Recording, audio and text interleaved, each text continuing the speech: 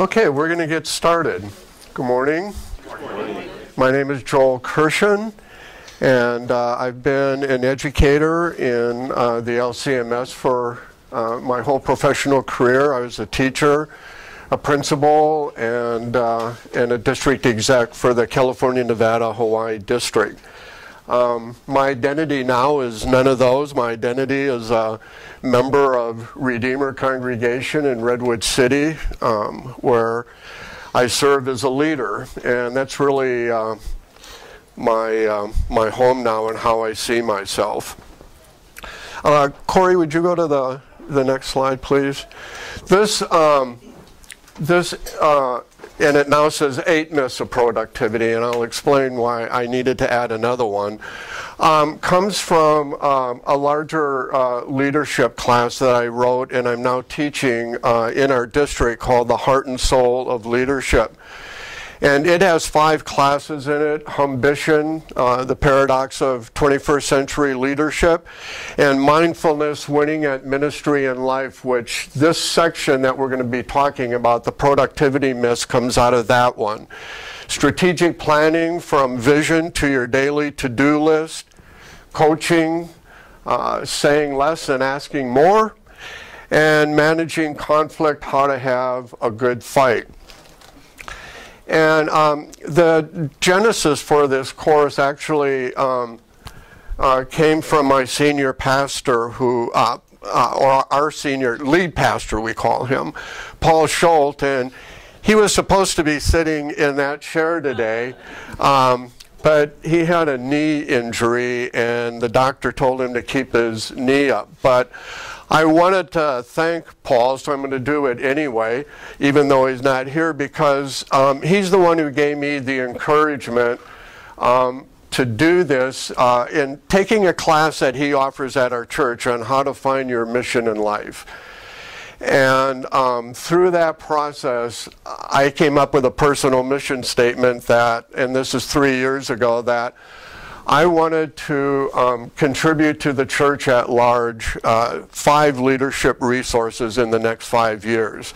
So I came up with five, but I did it in three years. So uh, nothing wrong with a little efficiency. um, Corey, if, uh, I uh, also want to give a shout out uh, to two guys in this room. Uh, one is Corey and one is Andreas, who's uh, both are on our staff at Redeemer. Uh, Corey is one of our pastors. Andreas is, is an intern there, plays in our band, and, and many other things. And um, they are part of, um, I'm not sure what you call it, Corey, but um, they publish a newsletter called Follow the Leader. And I want to give Corey just a minute or two, or Andreas, um, you can share this, to tell you just a little bit about that because it's just a tremendous resource and one you should know about. Yeah, sure. Yeah, hi, and I am not going to take too much time. This session is too important. And I would say, just to, to tee this up, um, what Joel is about to walk everyone through I have the privilege of having him at my disposal, and so he gets to walk with me and coach me through a lot of life and leadership. Um, but one of the, the things that, that Joel does is he he's helped me be able to discern the important from the urgent. And so much of ministry and life feels like we're dealing with the urgent all of the time. And so he's given me processes and systems and a lot of what you're going to see today that have helped me on a day to day basis be as productive as possible. So just a big shout out for what you're going to hear. Corey, don't take your time talking about me. Sorry. Joel means it. He's, he's, helped my life. Um, and then yeah, so we're we do this thing called Follow the Leader. It's a newsletter. It gets published. One just went out 30 minutes ago, um, and we have uh, I have five people that that help contribute to it. Some are in the for-profit world. Um, some are in the nonprofit world, and then some are in just the church ministry context. And so I found it valuable that different perspectives on leadership um, really can refine leadership as a whole. Um, and so, yeah, we publish a newsletter every Friday. It goes out all around leadership. And yeah, how do they subscribe to it, Corey? Um, honestly, I think the easiest way is through my LinkedIn. I have daily posts that I post daily, um, and so through that you can subscribe through my LinkedIn page. So So it's Corey Garrity, G A R I T T Y. C O R E Y G A R R I T Y. Yeah, or you can come talk to me. But Andres, you more want Last name. uh, G A R R I T Y. Yeah, awesome. You know, my name is Andres. Same thing I've work alongside with Corey. So I actually work for the YMCA. I'm the executive director in our city on that. Um, so just you know, walking alongside with Corey, just really seeing how we can develop the next leaders in our community. You know, we see that there's a lot of lack of leadership, right? We have two age groups. We have our older seniors, um, and then we have the young ones, our kids. But there's really nothing in between. So that was kind of the idea of why things are things are happening, why we're coming together to work, to really see how can we provide tools for people to just continue to develop themselves. We think it's necessary uh, in order for us to make change in our community, to make church change in the church as well. Uh, so we're excited to be able just to provide those resources and see what we can do to really change the world. Thanks, Andres. Yeah. I used to admire leaders that were older than me. Now that I'm old, I admire leaders who are younger than me. I learn a lot from these guys. All right, Corey, let's go to the next slide. Um, many professional uh, church workers I've known overwork and sacrifice themselves and their families to accommodate their work habits. I did, and it cost me and my family a lot. Overwork led to a heart transplant, and preparing, having, and recovering from the transplant took over three years. Three years just gone. I was useless at work and home during that time. My body was fine, but truthfully, my mind was a mess. I couldn't trust what the narrator in my mind was telling me to do or say. It was like another person was living inside of me. It took years of therapy and a support group of fellow heart transplantations to find some peace. And I have to say that I still don't feel like the same person I was before I had the heart transplant. Um, that said, I'm very happy that I did it. And uh, I'm very, uh, feel very blessed to have these extra years of life. So why did I overwork?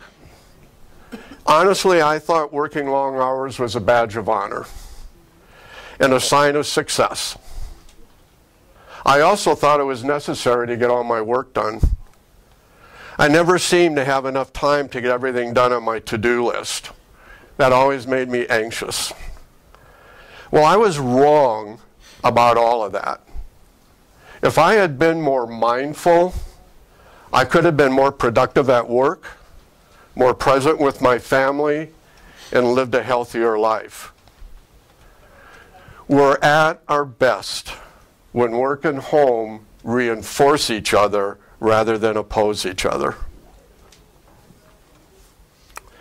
Next slide. Um, first of all, to begin the eight myths of productivity, uh, we need a definition of what it means to be productive in the 21st century. The first productivity studies were done in the late 19th and early 20th centuries in American factories by a man named Frederick Taylor, a mechanical engineer. His aim was to make manufacturing as efficient as possible, to make more goods in less time. His critics accused him of turning workers into robots, but his methods worked and became very popular in manufacturing.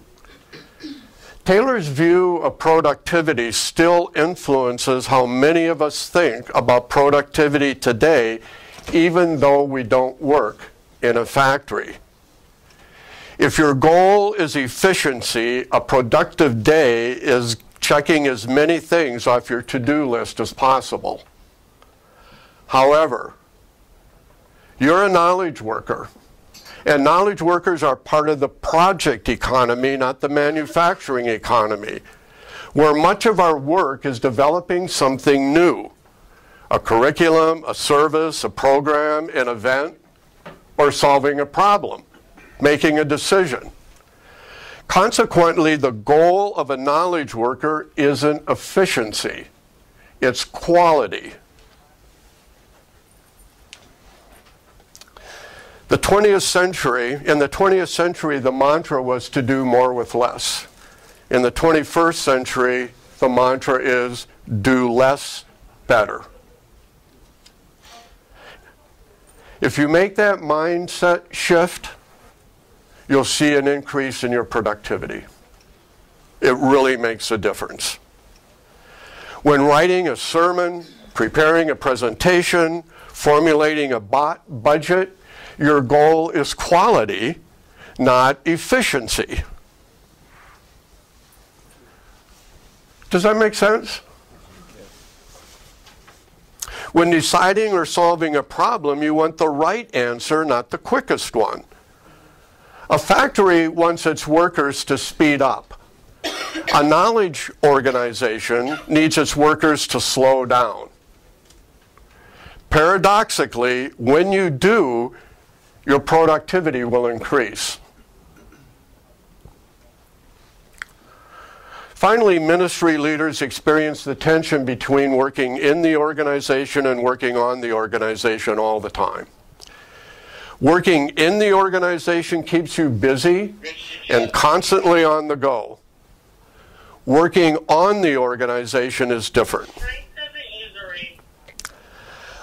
Um, I just told Joyce that when she went to the drive. Hey, if anybody sees what's going on? Uh, Joyce is looking for him. We have an issue. Oh, I'm sorry. Working on the organization is the opposite. You need to slow down, calm down, relax, think, and reflect.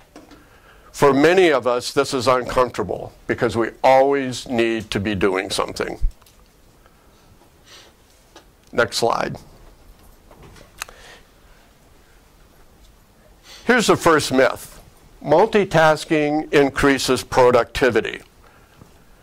Multitasking is not doing a bunch of different tasks all day long. Multitasking is trying to do two tasks at once, like texting while driving, having a phone conversation while clicking your way around the internet, or correcting homework while watching TV. Researchers have been studying multitasking since the 1980s. They call it dual task interference. And study after study consistently finds that multitasking causes a reduction in efficiency and accuracy. Why? Because the brain can only focus on one thing at a time. To multitask means you have to switch from one task to another. But the switching isn't seamless.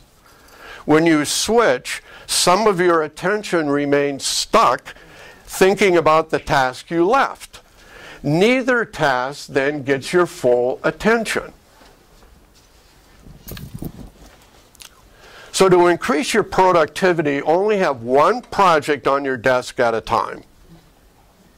We're going to talk about that a little bit more and put your smartphone in a desk drawer. Mm-hmm.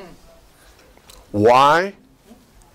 Because having a smartphone nearby, readily available while working on a project is the same as multitasking.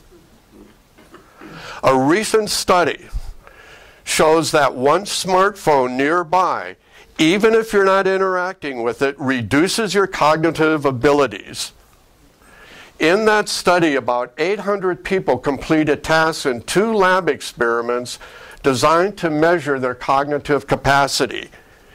Before completing those tasks, the researchers asked participants to either place their phones in front of them face down on their desk, keep them in their pockets or bags, or leave them in another room. Importantly, all phones had sound alerts and vibrations turned off so the participants couldn't be interrupted by notifications. The results were striking. The participants whose phones were in a different room functioned the best, followed by those who left their phones in their pockets. In last place were those whose phones were on their desks. The mere presence of our smartphones is like the sound of our names being said or a crying baby. Something that automatically exerts a gravitational pull on your attention. Resisting that pull takes a mental toll on par with being tired. So if you're working with your phone on your desk, you're working tired.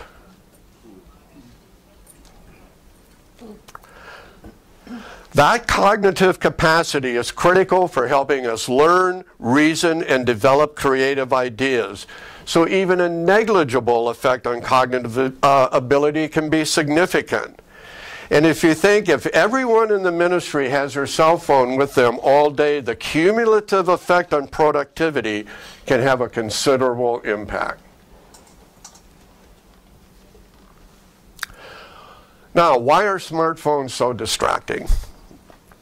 Even when they're not buzzing or chirping us, chirping at us. It's really not that they're addictive. I think I used that word last year. It's really just a bad habit.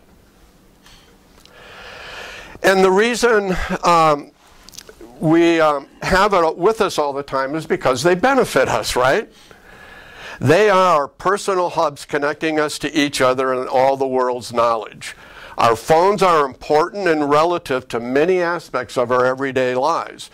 Research in cognitive psychology shows that humans learn to automatically pay attention to things that are relevant to them, even when focused on another task. So again, part of your brain is paying attention to your phone just as if you were multitasking. I suggest you share this information with others in your ministry and consider adopting some phone guidelines, especially during meetings when you're trying to problem solve or be creative. I would suggest everybody leaves, if you go to a meeting room, everybody leaves their phone in their office. You will get a lot more done.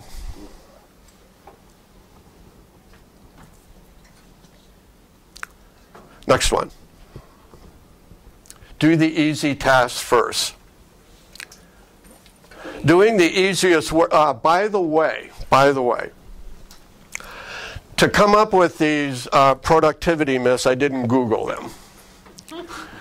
Um, these were all things, except for one, eh, kind of, that uh, I have practiced uh, in my life and seen others practice. So that's where these come from. Um, this particular this particular myth I picked up reading a magazine article at an airport, and it encouraged you to do your easy tasks first. And that does sound like good advice, and it is at times, like when you're in a funk and can't get going. The idea behind doing the easy stuff first is that it builds momentum because every time you complete a task, you get what's called a dopamine bump.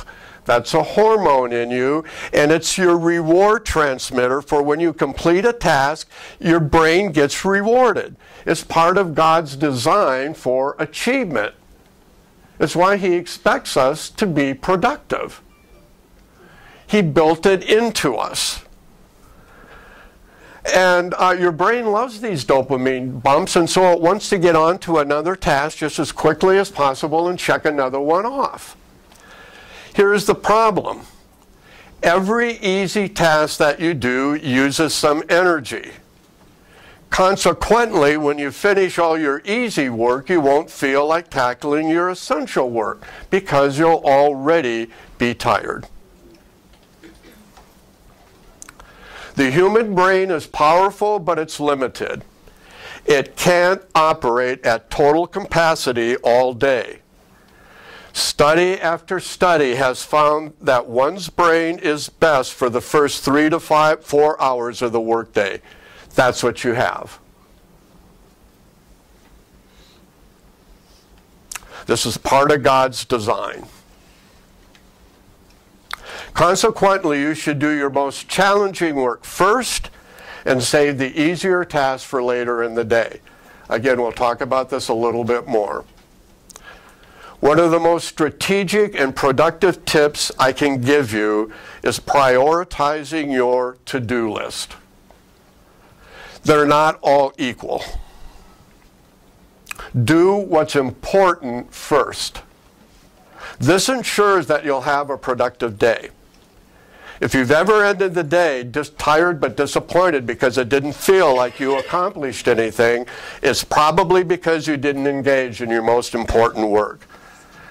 If you were like me, you probably got sidetracked by unproductive conversations and busy work. Which brings us to the next myth stay busy. After about 90 minutes uh, of deep work, you'll experience some cognitive fatigue. You'll have a tired brain. If you continue to work in this state, your creativity, production, and quality will suffer. So I suggest you take a break. In one study of more than 12,000 white collar employees, those who took a break from work every 90 minutes reported a 30% higher level of focus, 50% greater capacity to think creatively, and 46% higher level of health compared with peers who took no breaks or just one during the workday. But staring into a smartphone or browsing the internet doesn't count as a break. a restorative break involves either exercise, that is, you get up and move, a conversation, or even spending some time praying or reflecting a restorative break, oh, I'm sorry, 10 minutes is sufficient. And this means that walking somewhere, talking with something, talking with someone, especially something other than work, praying, or even daydreaming will work for you. Around noon, six to seven hours into our day, our energy really begins to fade. Even if we had lunch, or maybe even because of it. The best way to recover, and this is going to hit you uh, as this is impossible, the best way to recover is to take a nap. the most productive people in the world nap every day. It's true. 20, 20, to 25 minutes is all it takes. You don't want to nap for more than 26 minutes is the limit. After that, you're likely to fall into deep sleep, and then you're going to wake up droggy and foggy. You don't want to do that. Uh, if Paul was here doing the, uh, the computer, he would tell you what a game changer taking a nap is because he now takes one after hearing this every day. Um, if, you, if it's just not uh, appropriate in your workplace, and it probably isn't, unfortunately, uh, take a 20 minute casual walk. But do one or the other. Take that walk preferably in an area with more trees than cars. Like sleep, nature restores our brain and our energy. In fact, if you have a meeting in the afternoon and everybody's feeling a little droggy, take a walking meeting.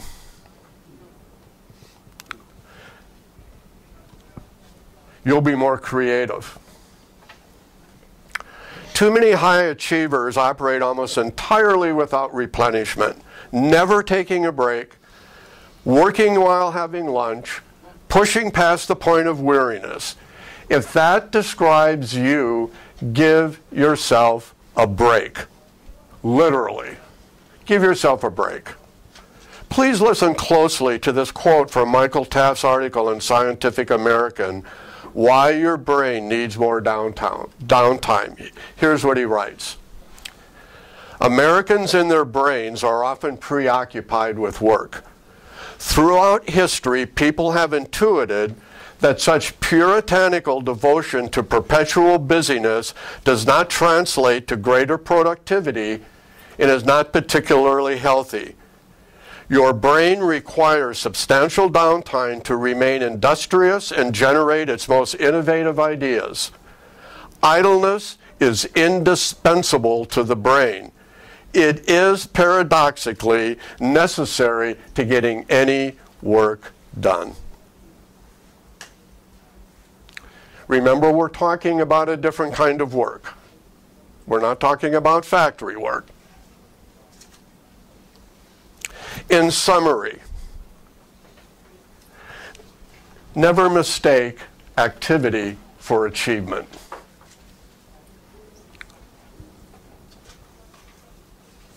And I'm wondering if this is true in your ministry.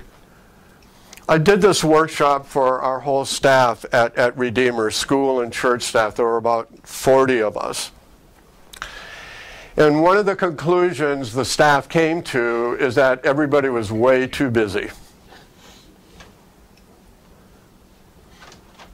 Running around the campus, you know, everybody always in a hurry, always in a hurry. And I'm wondering if that's true in your ministry, constantly busy, but still falling behind. And I'm wondering, who do you relate to more in the Bible? Are you a Mary or are you a Martha?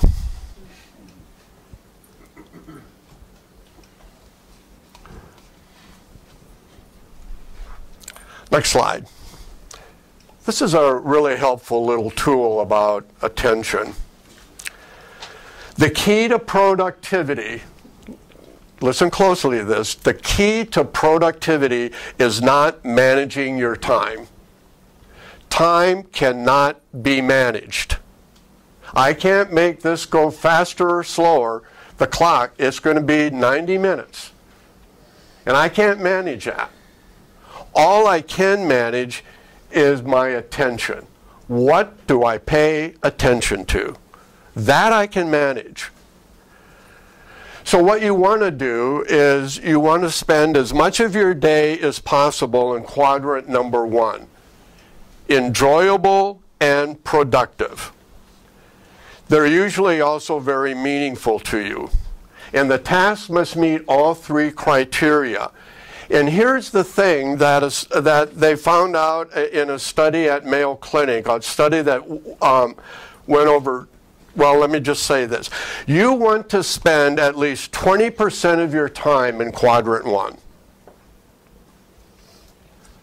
Doing stuff that's enjoyable, productive, and meaningful.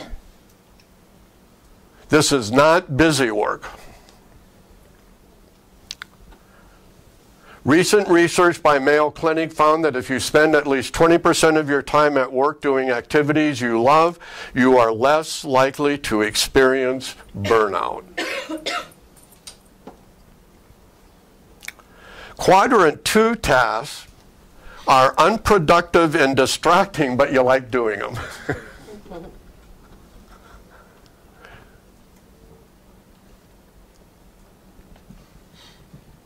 Quadrant three tasks are necessary and productive, but unenjoyable. You hate doing them. hate might be too strong of a word, but. And quadrant four tasks are necessary, but for you, unproductive and unenjoyable.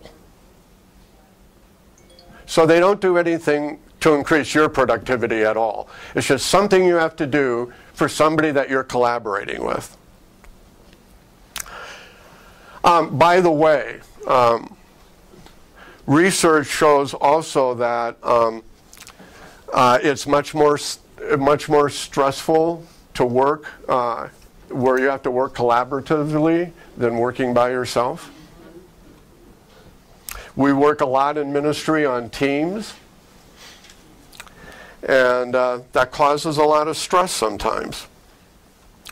Now, I suggest you give quadrant four tasks and as many of quadrant three tasks as possible to your administrative assistant if you have one, or maybe a volunteer.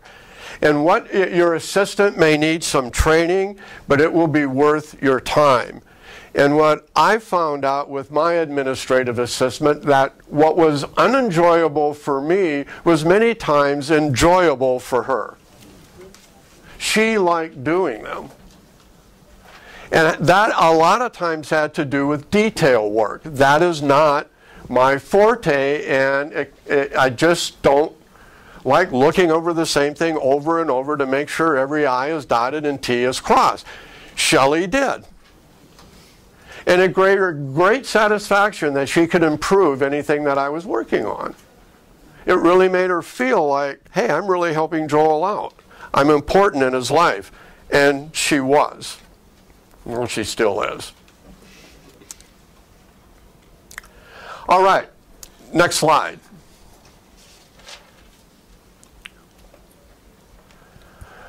The longer I work, the more I get done.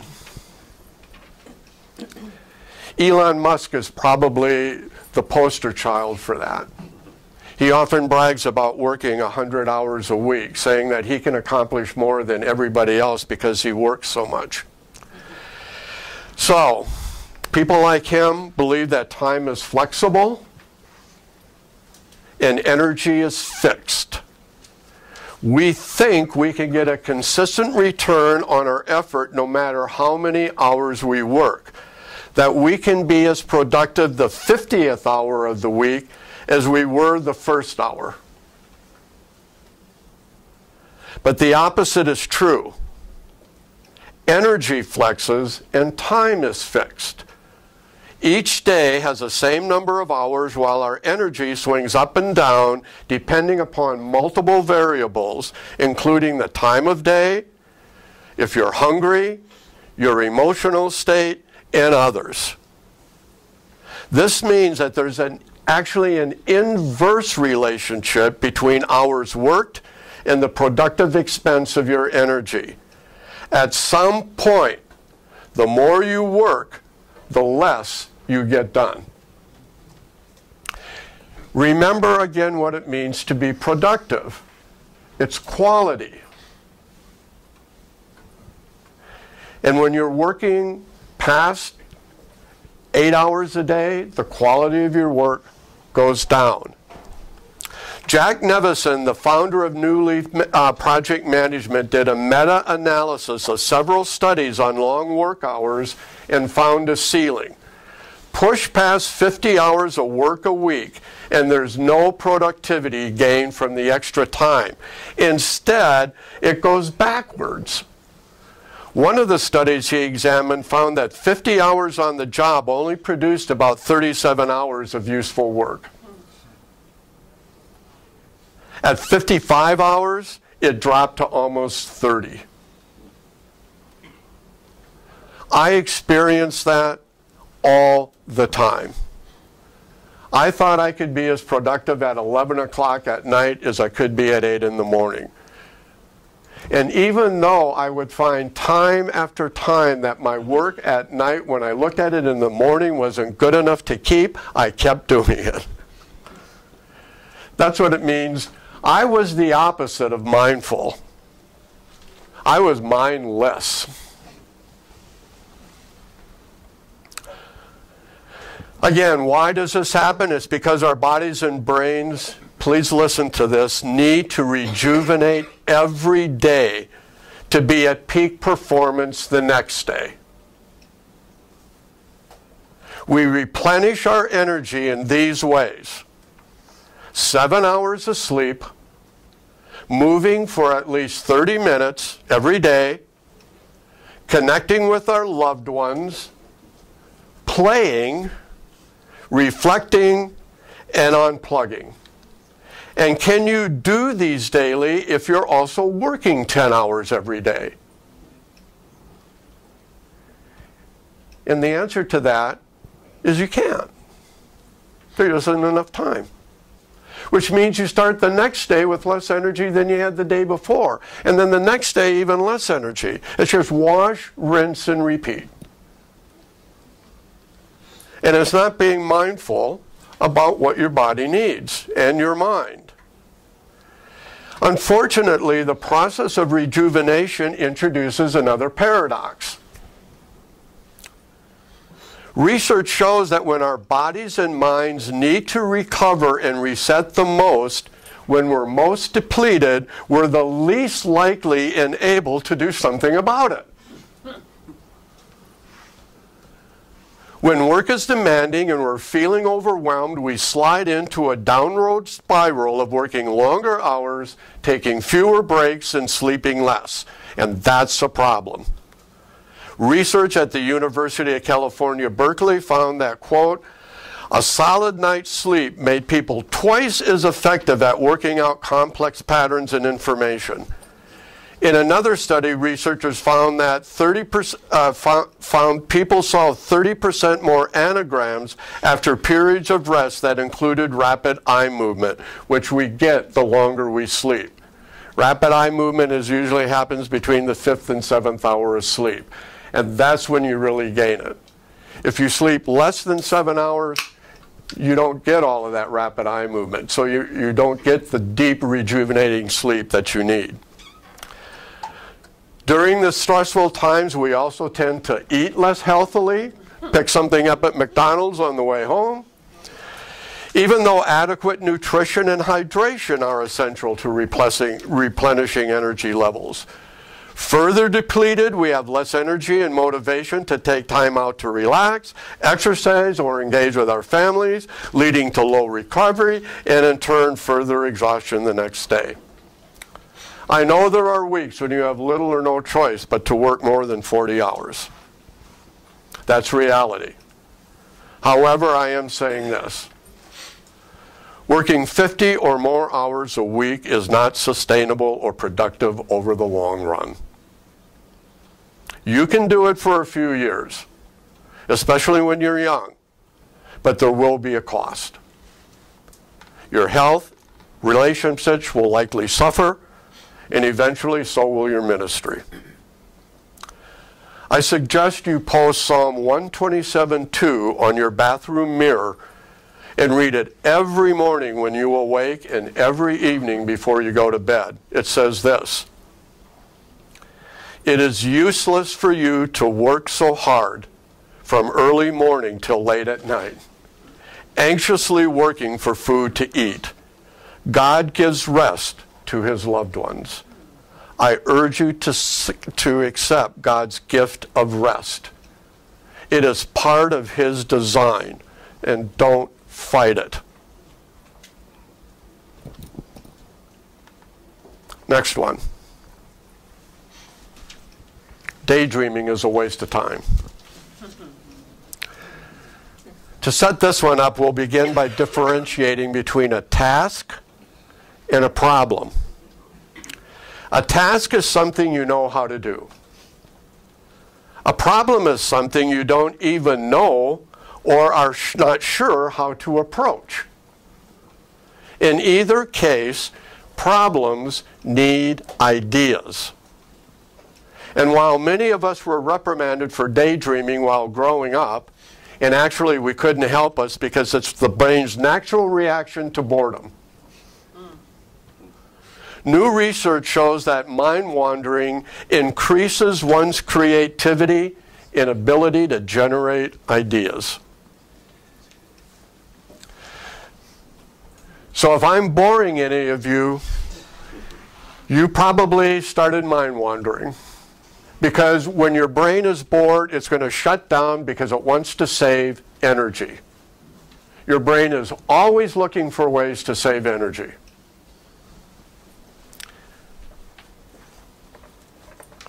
In his book Hyperfocus, author Chris Bailey asserts that this, this creativity that happens when you're mind wandering has to do with how learning and creativity work in the brain. Whenever you whenever you encounter new information, your brain stores it in a bit. When you learn, you connect new bits to unrelated or to, to um, related bits you've already accumulated. Learning builds on learning. creativity comes when you connect unrelated bits. This is why intentional mind wandering leads to moments of inspiration. If you don't focus on anything, your brain randomly looks for connections. And when it connects two unrelated bits, eureka, you gain a new insight. Have any of you ever experienced this? Taking a shower, maybe? Mm-hmm. Doing something relaxing, and all of a sudden, an idea you've been, you've been working on pops in your head? That's what this is from. You want to give your brain opportunities for that. Walking away from something when your mind is going as circles when, is when you often get clarity and creativity. So if you're stuck on a problem and you're working on it and you just can't seem to gain anything, walk away from it. That's the best thing you can do. Sometimes you need to get away from your desk to get closer to your answer. One of Steve Jobs' strategies for boosting creativity at Apple was to have walking meetings. We talked about that a little earlier. Research supports that strategy. In one study, researchers found that participants created 60% more solutions to a problem when they walked than when they sat.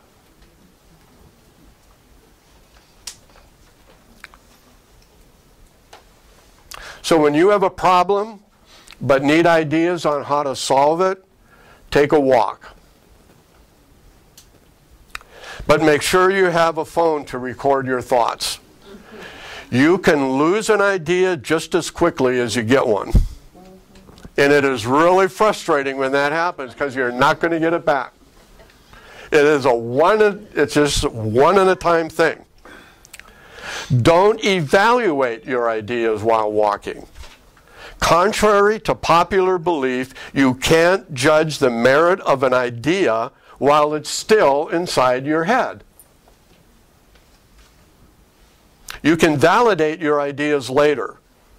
The goal of generating ideas is quantity, not quality. Refuse the temptation to judge which ideas are keepers. Just write them down. And write as many down as you can. Remember, quantity is what you're looking for. In one study that, that I, I read, um, well, in one article, I should say, that I, I read, uh, again, Steve Jobs uh, was um, kind of famously said at one point that the thing he was most proud about at his time as Apple were the ideas that he said no to. And so that says something about focus, but there's another part to that to that story. If you've got and, and the part to that was is that he had a thousand ideas to choose from to find the one right one. He didn't just have five or six, a thousand. And that's really, for me, the takeaway from, from that quote is that you're going to find better solutions with the more ideas you generate. Um, when trying to solve a problem with a group, using a hybrid model of individual brainstorming and group brainstorming produces the most ideas. In the usual way we do brainstorming, you bring the people together, you put on the uh, on the whiteboard what you're trying to solve, and then you ask everybody to share their ideas, right? And uh, how many people in the group contribute? A few. All the extroverts. And what, and what we often find is that the person who says nothing has the best idea. So here's how you do this. I suggest using the nominal group technique. By the way, if you'd like a, a, a handout about uh, in detail how to use this, um, you can contact me and I'll send you that handout. But I'm going to give you the gist of it as we go on here. So here's how you use the nominal group technique. To begin, you convert the problem you're trying to solve into a question.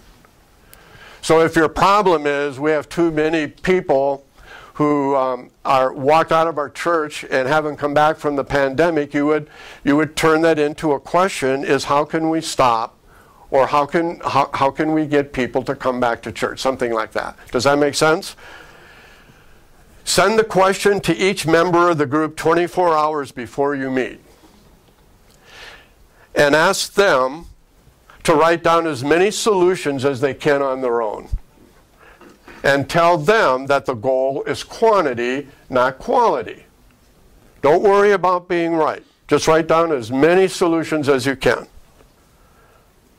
When you meet, the group leader goes around the table and records one idea from each participant at a time on a flip chart or a whiteboard. The idea should be recorded verbatim with little or no paraphrasing by the leader. If you're not sure what to write, ask the person, can you make that shorter so it isn't so long? Can you clear that up for us instead of you doing it for them? However, leaders are allowed to ask questions for clarification of the idea. The process continues until all ideas have been recorded.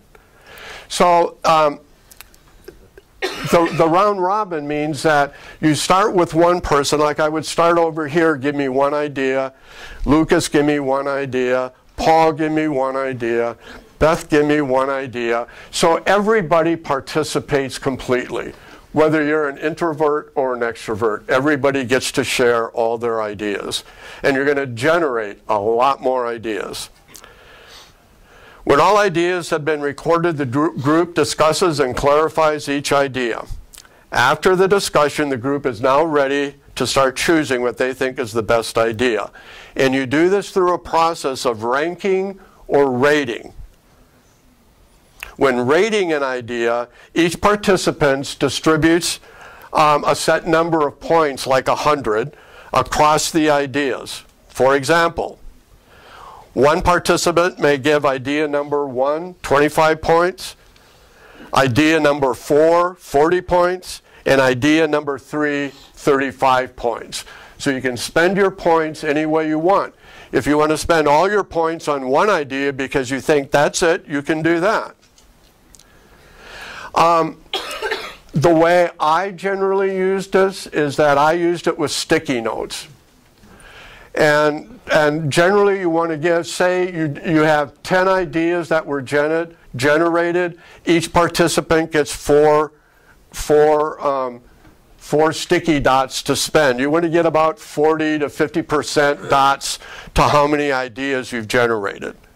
And you don't have to be exact on this. You just don't want to give them too many and you don't want to give them too few. So that's kind of a, a nice benchmark to use, 40% of the ideas. And then you just have people go up, and I have them all go up at the same time so they can't watch everybody they, and, and start you know, building on what everybody else is thinking. They all go up at the same time and start putting their, their sticky note on the idea or the ideas that they vote for. Um, if you rank them, you would put you, you would ask your participants to put them in order. So if you had 10 ideas, put them from the best idea to, to what you think is the the worst idea and rank them. Um, I I've tried both, and I think the rating system is by far the best way to do this.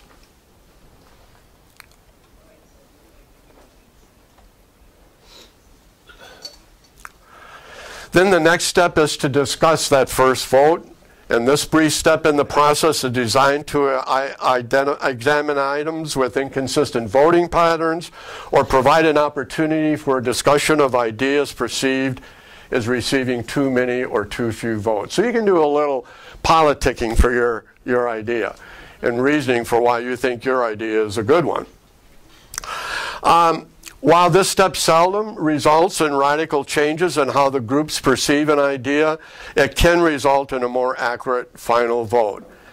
And then you do the vote as many times as needed until you get down to one solution that has the most votes. Am I making any sense? The ones that don't get any votes or get fewer votes, you just start eliminating them. And you just keep going around keep voting until you come down to the one idea. And hopefully you got the best one. Next, next slide. Clutter, yeah, clutter increases my productivity. Until recently, I worked in clutter. Angela, I don't remember.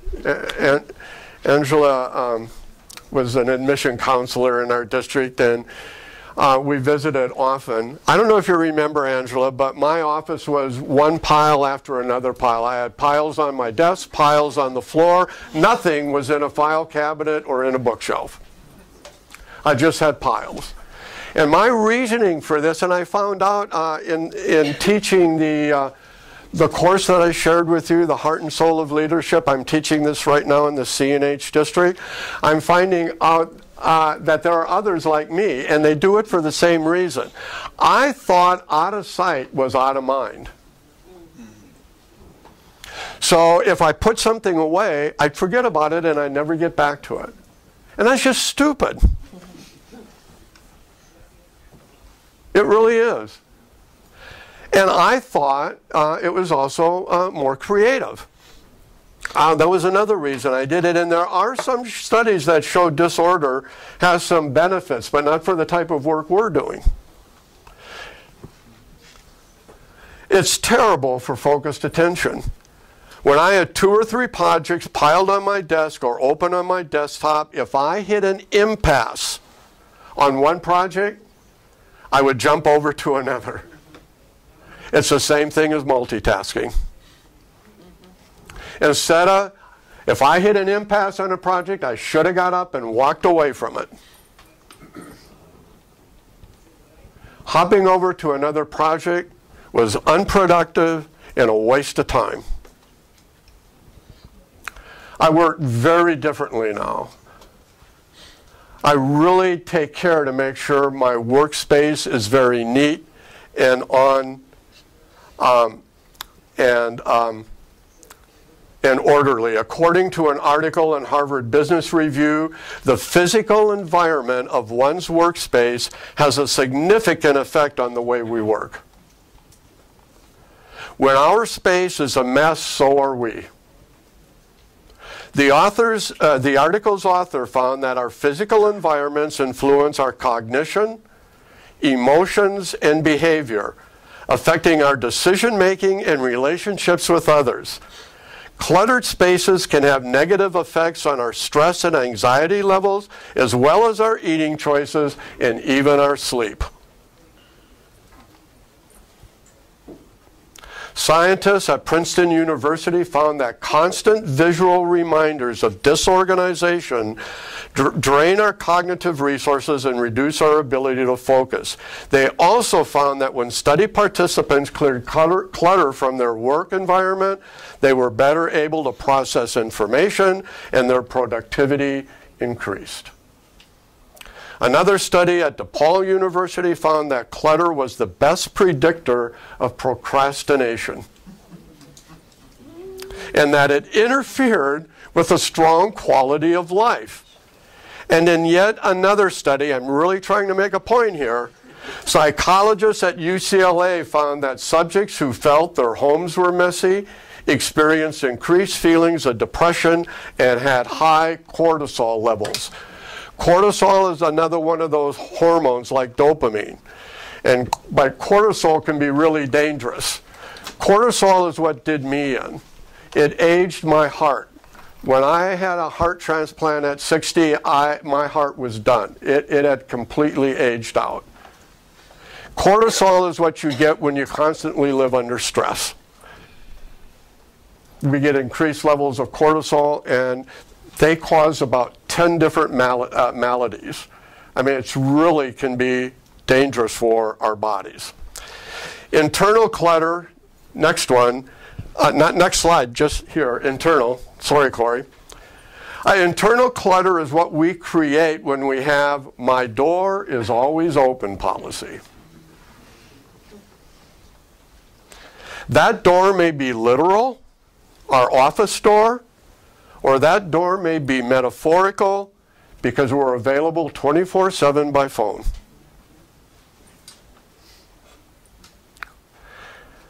And because we usually respond automatically,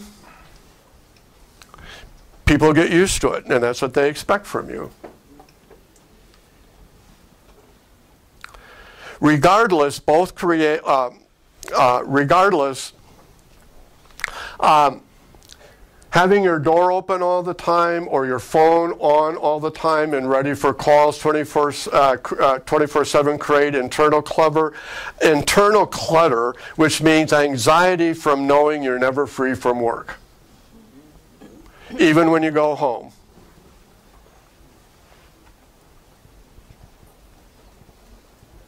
And it's probably true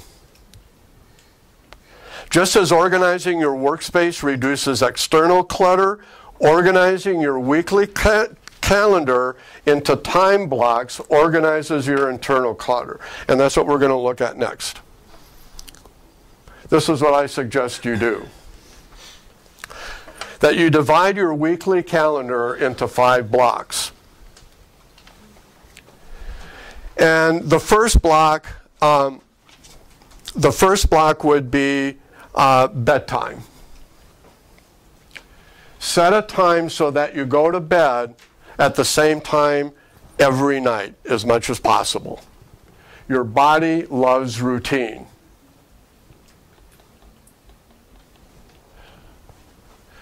So you, you want to set out, set out that time. The next one I would do would be family time. When are you going to be completely present with your family? I would block on my calendar right now, after 5 o'clock, I'm with my family. I've put in eight hours. Now, let's go to the top one, alone time. Again, uh, uh, what I would suggest you do is that you set a block of time on your daily calendar. Start with one if you can if you can do that. And for some of you it may be hard, where you're going to have 90 minutes of uninterrupted time to completely focus on a project you're working on. 90 minutes of un, un, um, undisturbed time. Uh, you could tell, uh, you could put that on your calendar and let everybody in your, uh, you could just tell your assistant or whomever, if somebody calls and wants to meet with you, they just tell her, uh, he or she, she's in a meeting. She's in a meeting with herself.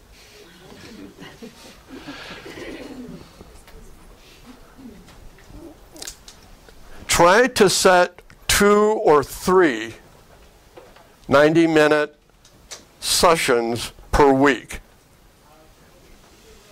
And that might be hard to do right now again in, in, uh, with some, all the people are, that I'm teaching right now in the heart and soul of leadership.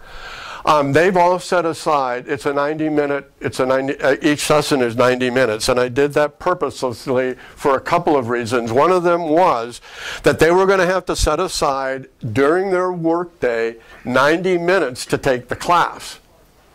They're going to do this for 12 weeks. That's how long it takes to take the leadership course. That means they've now got that 90 minutes established. And what I'm saying is don't ever give that away.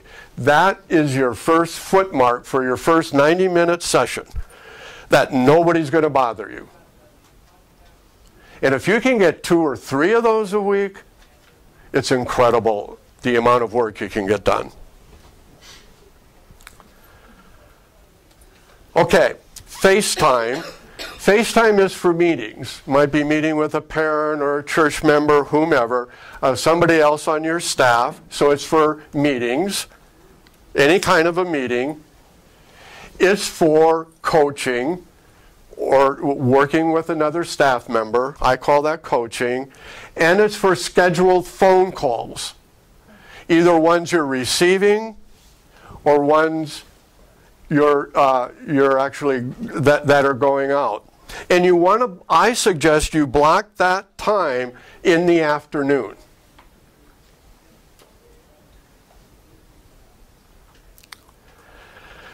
Um,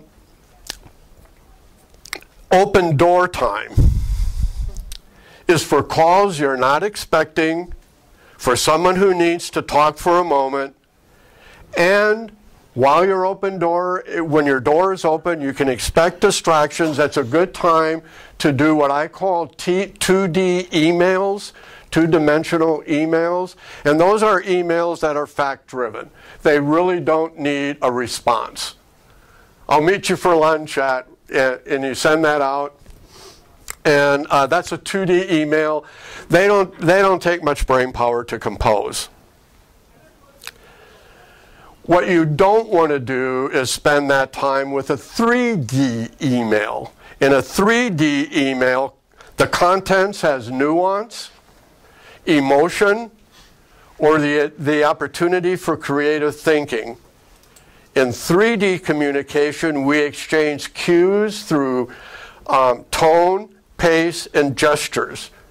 We discuss ideas with complex, we ask complex questions, and we connect interpersonally. 3D communication requires a live element, a phone call or face-to-face meeting.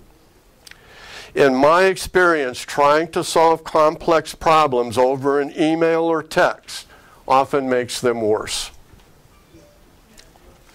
Um, one of the things I did in the district office, myself and two other pastors were members of what we called the conflict transformation team. And when we had a congregation or, or, uh, or a school that was in conflict that they just couldn't solve, uh, we would go in and, and help them work, work through the conflict. Inevitably, one of the biggest contributors to the conflict were emails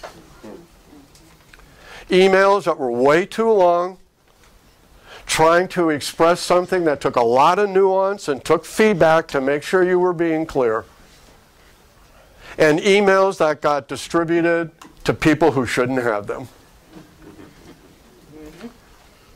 The first thing we told them to do was to turn off their email and stop sending emails. Just stop it.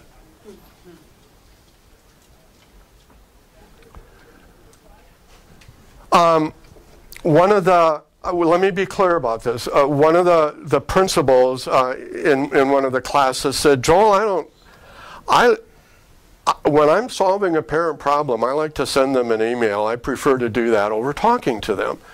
And I said, Kyle, tell me more. What, what, what are you thinking? Why are you doing that?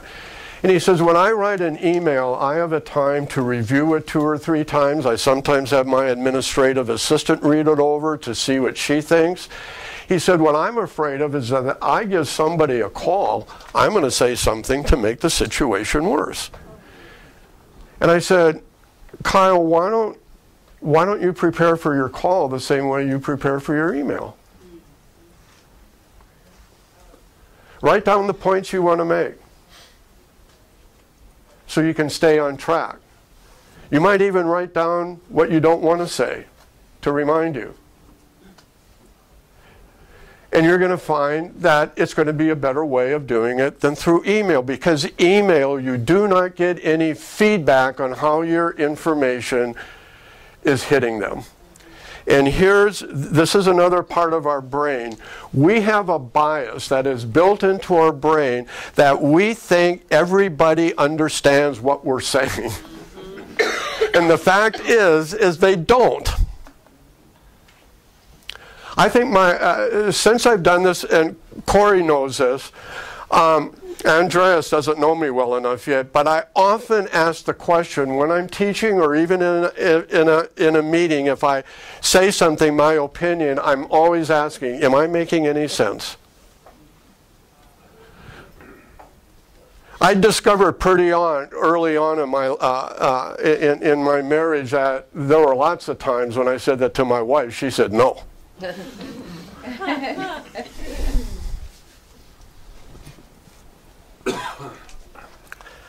All right. We got them all, right? So you can see, you color block your calendar, and that's the way you set, start setting boundaries on your life. You have a right to set boundaries. Don't let other people set boundaries for you. It's your life.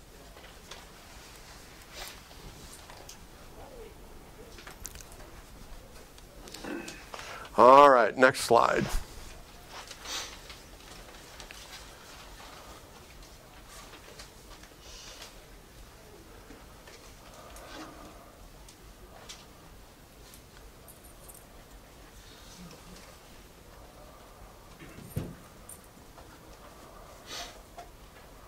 Okay.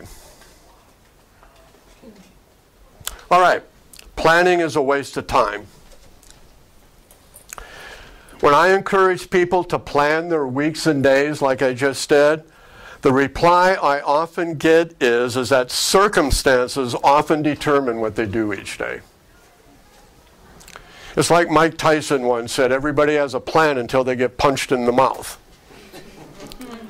and it's true. Um, and because, because that happens frequently or occasionally, they think planning is a waste of time. But don't fall into the either or thinking. Instead, think both and. Yes, I will plan. And yes, I can cope when unexpected situations occur. You'll be surprised how much of your week goes according to your plan when you start planning it. Not all of it necessarily, but you can cope with that. So it's a both and situation. Don't make it either or. Planning is also easy to avoid because it takes a lot of mental energy to conceive of an ab abstract and unknown future. We tend to give much more weight to whatever's present and known to us. If that describes you, I hope you'll change and learn to embrace planning. Finally, I've witnessed a number of schools and churches that wrote plans that died on the vine. Getting them to plan again is a challenge. They all had a common problem too many goals. Too many goals can lead to overwhelm.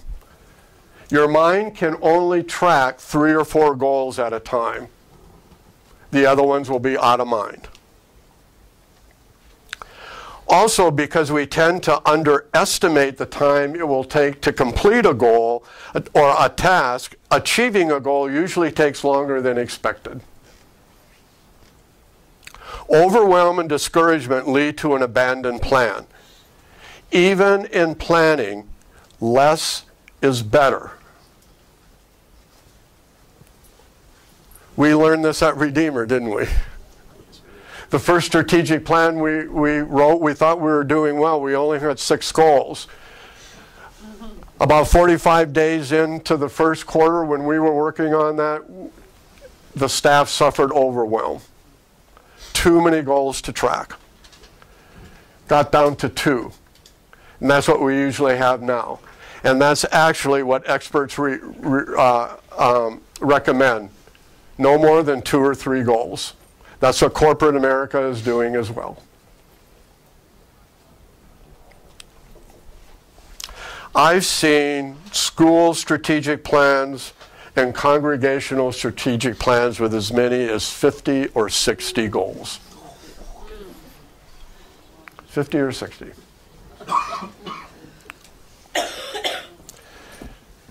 I like strategic plans that fit on one page of paper. All right, I want to share with you, and I said you were going to get a couple of tools, and I'll tell you how you can get those, but I'm going to share with you uh, what that tool is. So um, I developed uh, a daily planner for everyone who takes my course. And this uh, planner is based on research, all the research I did in putting this course together. So at the bottom you have morning ritual, startup ritual, down, shutdown ritual, and evening ritual. I'll teach you about those in a couple of minutes.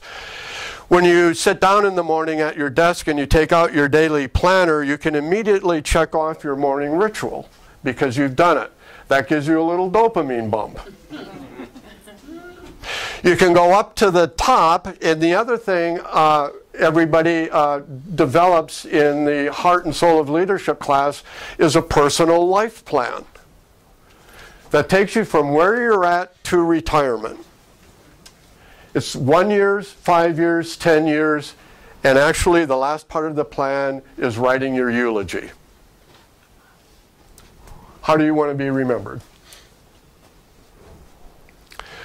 Um, and I recommend reviewing that every day so it, it, it, reminds, it reminds your brain this is, what, this, this is what my life is about. Is everything going to go according to that plan? Of course not. But you'll be amazed at how much it can change you. Isn't that right, Corey? Yes. yes. Corey did a life plan, and it changed your life. I suggest you do the life plan with your spouse. Um, or that both of you do a life plan. Okay, so you could check that one off. Then you can write down today's date. This is not meant to necessarily be filled out every day. If you've got a day that's mostly filled with meetings and stuff like that, you probably don't need to fill this out. You can keep track of that on your phone. So this is designed to work with uh, digital tools and a paper planner, and I'll explain why the paper planner is so important, the scientific evidence behind it. So over on the left side you have win one, win two, and win three. Win stands for what's important now. Those are your two or three top priorities for the day. If you get these done, you can go home and say, I won at ministry today. It's a win. Each one of those you complete is a win. Underneath that, oh, I, there's also a place for hours and minutes, whether or not you took a rest, and what you did during that rest. These are just ways to encourage you to follow the plan. Um, over on the right hand side, things I won't do today. I won't check my phone every five minutes. Things like that. The next one is three people I will thank today. I can't share all the research on this. The class uh, in Humbition, one of the one of the traits of a ambitious leader is appreciation. That's what this is about. Saying thank you to people is one of the best ways you can improve the culture at your, at your organization, and it takes so little time and work. And it's just thanking people. And the best way is not necessarily to thank them for what they did, but thanking them for who they are. That's what appreciation means.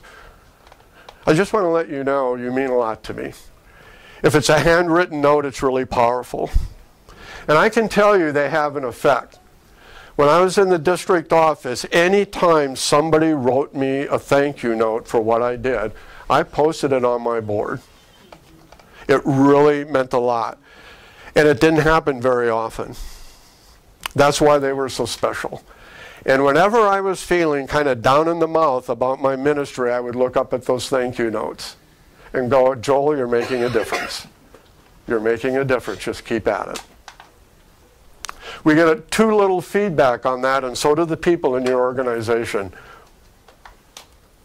Okay, and then um, things I get to enjoy today. Remember, part of rejuvenation is playing. That's what that's for. W what do I get to enjoy today?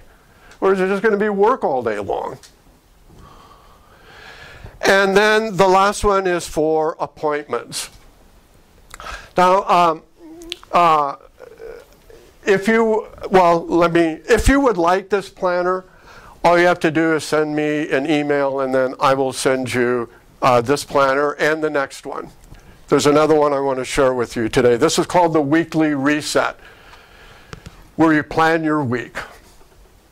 Okay, so um, they kind of work together. Which one you do first doesn't really, they, they just work interchangeably. So step number, the first page is almost all journaling. And the reason I want you to journal about what you do is it's the way you gain wisdom. Experience that isn't processed is a waste. If you want to gain wisdom from your experience, process it. And this is designed to help you do that. Significant contributions from last week, things that you can say, hey, these are things that I really made a difference in. It's a good way to start out your week is with something positive about yourself. The second one is the status of last week's wins. So you can write them down and then you can score them. Red means I didn't do anything on it. I got stuck. Yellow means I got part, partly there. Green means it's finished. Then the next part, what did I learn during the week? And it follows a KISS acronym. What should I keep doing? What should I improve? What should I stop doing? And what should I start doing? This is a really important section. And this is where you really start to gain wisdom about yourself and your work habits.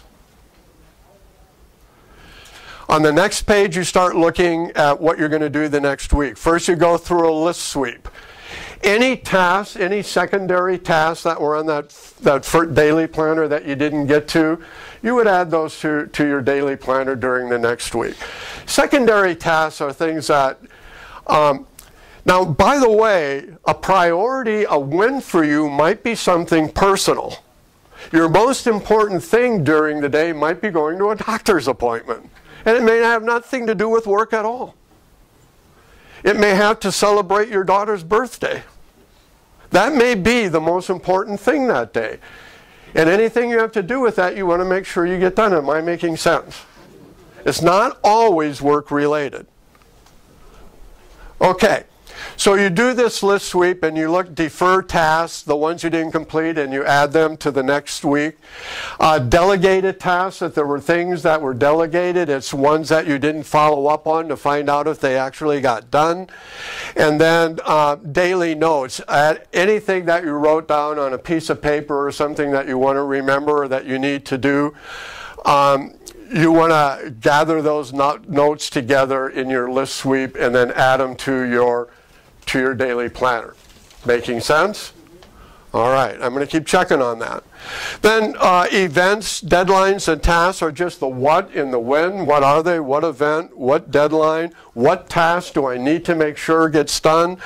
And then the last one um, are the weekly three wins. So you have wins every day, but you have three weekly wins as well. What are three things that just must get done this week? They're really important to get done this week. Now that's going to be reflected on your daily planner, but it's different. So you have three wins for the week and three wins for the day. Science shows that this works.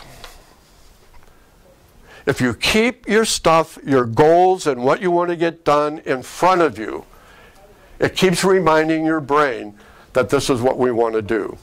Now, ah, shoot. Um,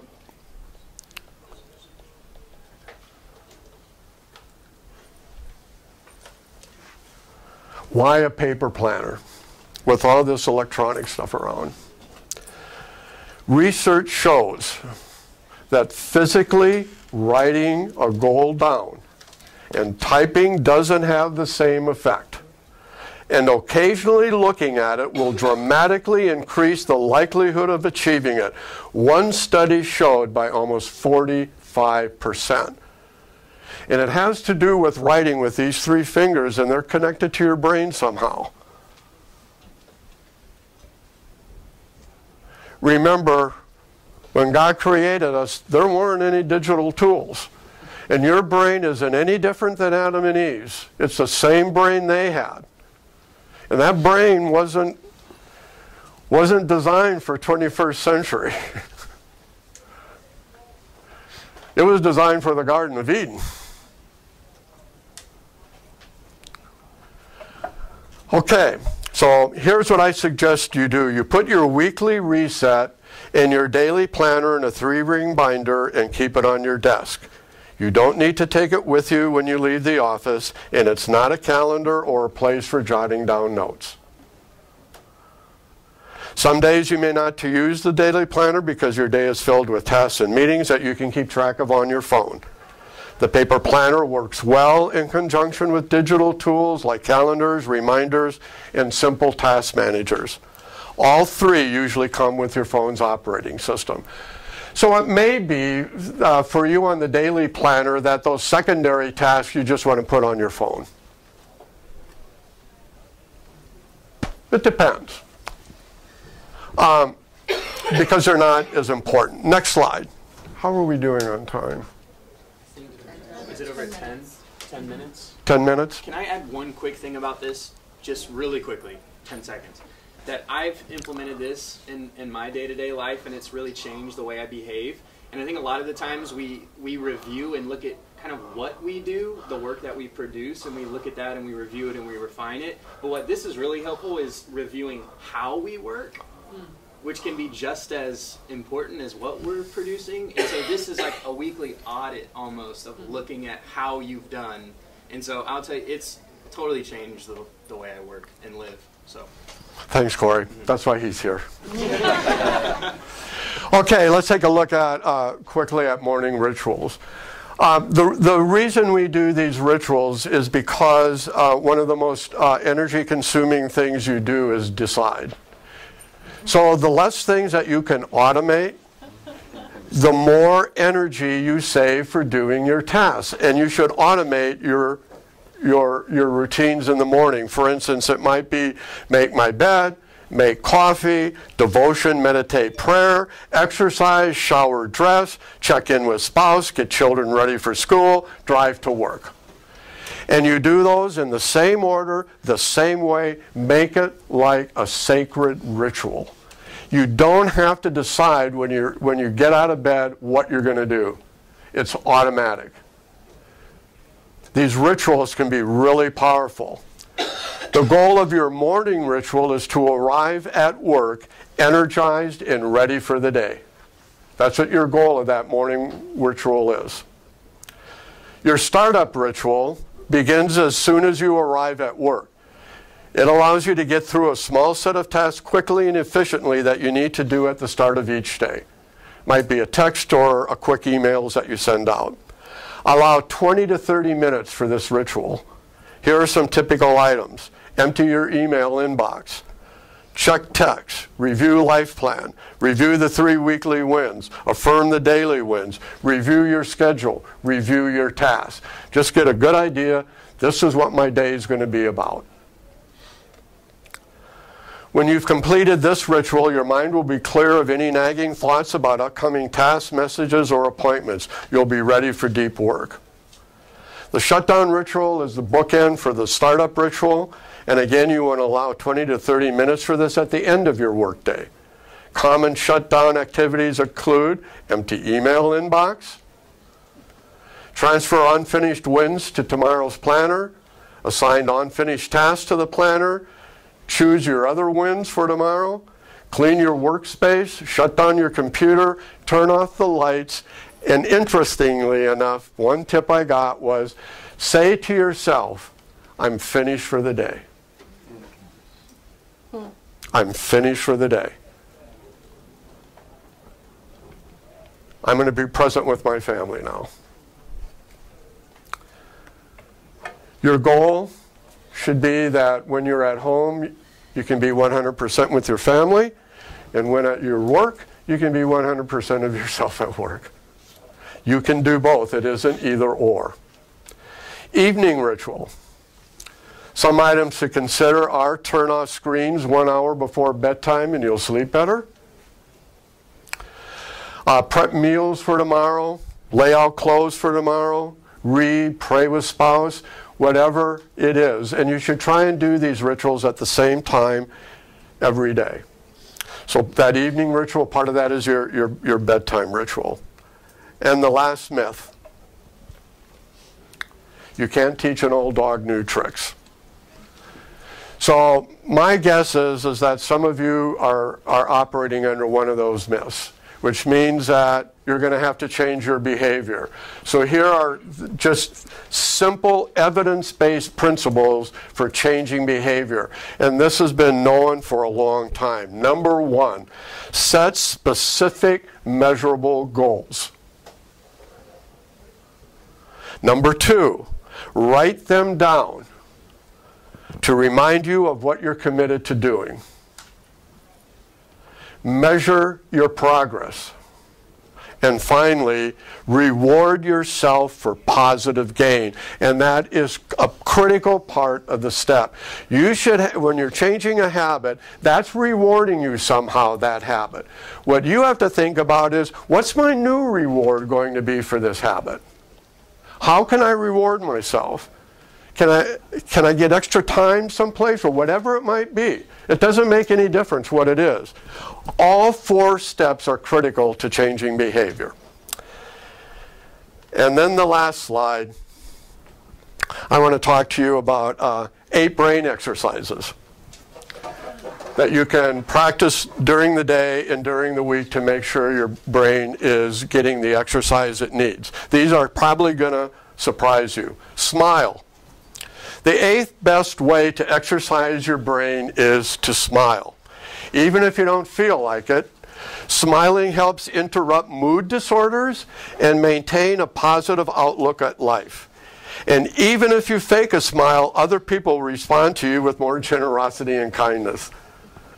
So when you have a spare moment during the day, smile. Your brain loves it. Smile when you're in the elevator or in a checkout line, and the blood pressure of the people around you will go down just by smiling at them. It's healthy for other people. Smiling stimulates brain circuits that enhance social interactions, empathy, and mood. Smiling has such a powerful effect on the brain that you will involuntarily feel happier and more secure just seeing a picture of a smiling person. Next one and this probably is a no-brainer. Stay intellectually active. The seventh best way to exercise your brain is to stay intellectually active. Um, if you don't use, lose your, use your brain, you'll lose it. This is especially true as you age. So spend as many hours as possible engaged in reading, listening to recorded books or podcasts, watching and discussing the news, taking a class, and so on. Um, the research shows right now, uh, there's research to support all of those brain fitness apps that you can buy right now. There isn't any research that shows yet that they work. But it looks like it's promising, but they haven't been around long enough to do enough research on to see just how effective they are. They probably are. All right. Um, another one, engaging in religious issues will also stimulate brain function. Reading the Bible, reflecting on its meaning, discussing with friends, and seriously thinking about the deeper problems facing the world are great ways of activating complex circuits in the brain. This comes from a book called God Changes, How God Changes Your Brain, and it's written by an agnostic. He's a neuroscientist. And for him, uh, religion is just any religion, any faith in God, whatever your God is. Um, it seems as if our brain was designed for God. Interesting, huh? What a, what a surprise. Consciously relax. The sixth best way to exercise your brain is to consciously re relax. And consciously relaxing is about scanning each part of your body to reduce muscle tension. It's not taking a nap or sitting in your favorite chair to watch TV.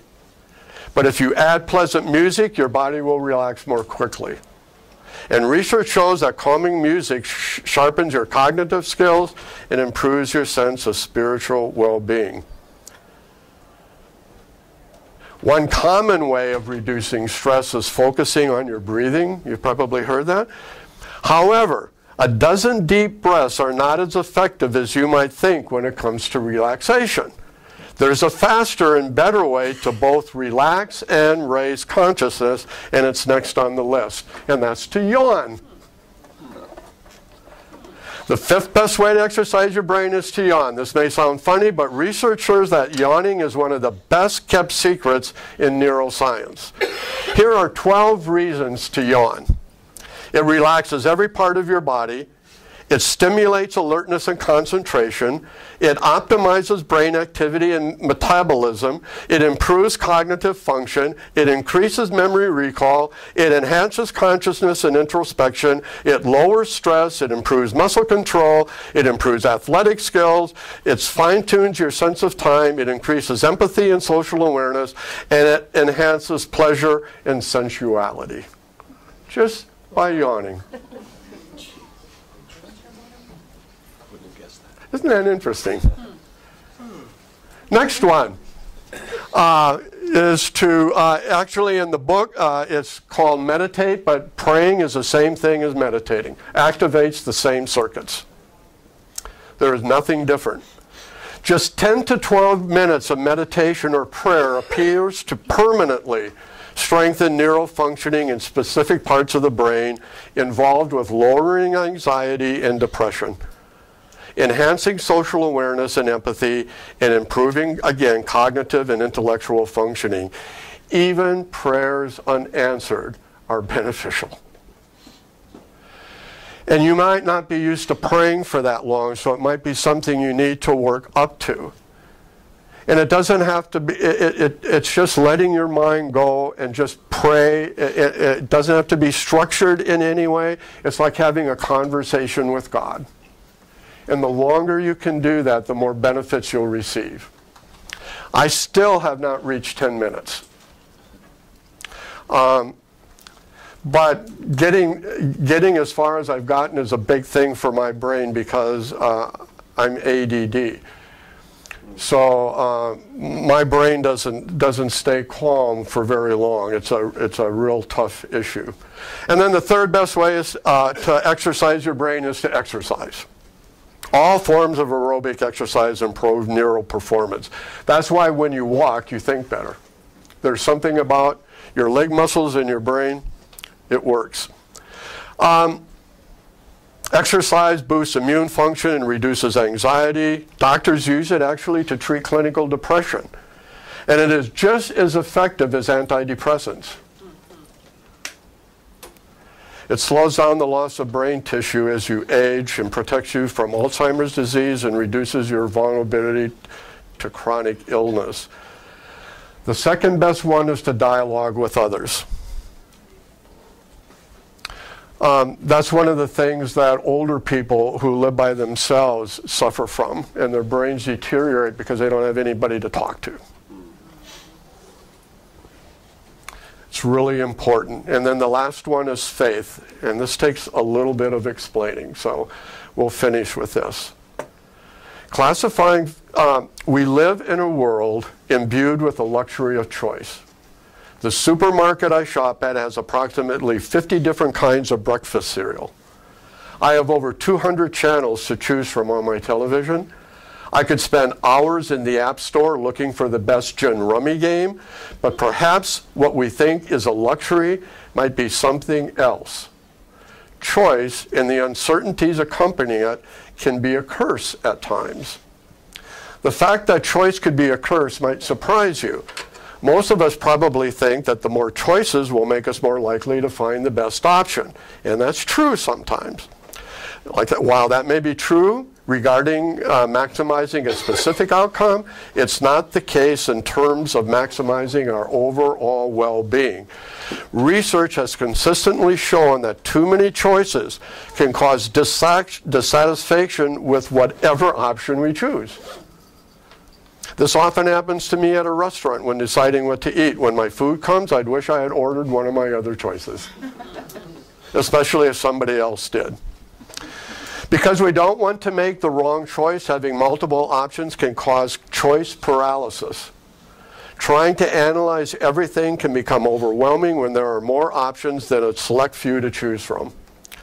Research has repeatedly shown that people who always want to find the single best choice in any situation are less happy, less optimistic, and more prone to depression than those who feel that good enough options will do. Now, what does this have to do with faith? Think of it this way. If having regrets about which car you bought can make you feel bad, for which there is ample evidence, what happens when you're considering weighter subjects? What if you're deciding whom to marry? Whether lying to save your job is okay, or what you should do if your child has a medical complication. And this is where faith enters. Believing that God has a plan for your life and intercedes on your behalf, that prayer will heal, that a choice to never lie or cheat ensures the best outcomes, comes a sense of certainty. And certainty brings inner peace. You're at your best when you're at peace with yourself. Researchers can even see the links between faith and decreased anxiety at the neurological level. For example, scientists have shown belief calms activity in a part of the brain called the anterior cingulate. When scientists measured activity in that part of the brain when confronting people with decisions in which they made errors, those who believed in God showed less anxiety at the neurological level about making perfect choices. Simply put, thinking about God makes religious people calmer. Our new district exec, Joel Wallers, who is who's uh, taking uh, the leadership class, pointed out even when believers make bad choices, they know God will use their mistakes to benefit them. Tim and Kathy Keller agree. In their book, The Songs of Jesus, they write this quote, If we trust in God's wisdom and will, then we have peace regardless of the immediate outcome. Faith doesn't make you complacent or less intelligent. It merely reduces the vigilant, critical state we sometimes fall into when making complicated decisions. I think that is so beautiful. All right. Next one is really what's on your mind? Any, uh, we're over time? Yes. Okay. If you have any questions or anything, I'll hang around. I'll, I'll be around today. Um, thank you so much for coming to this session.